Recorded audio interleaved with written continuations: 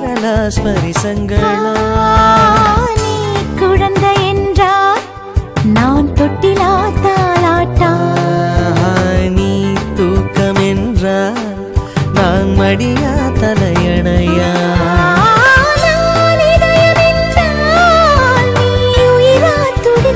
Oh